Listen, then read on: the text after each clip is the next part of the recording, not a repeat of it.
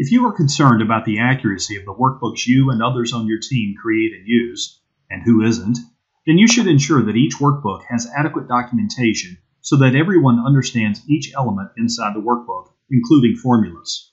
One way you can do this is by using Excel's formula text function to add documentation to your workbooks. Microsoft added formula text to the 2013 release of Excel, and the function does exactly what its name implies. It converts formulas into text.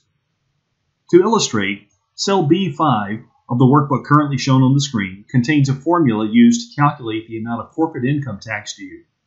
If you wanted that formula to be visible to all users, you could add the formula text function to cell A12 of the workbook, as I'm doing now.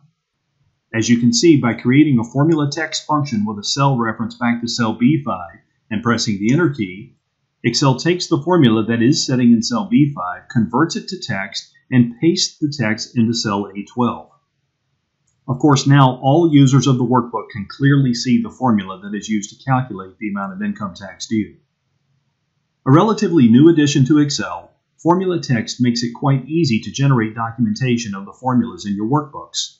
This documentation should lead to improved comprehension of the mechanics inside your workbooks and, in turn, reduced errors in your workbook models.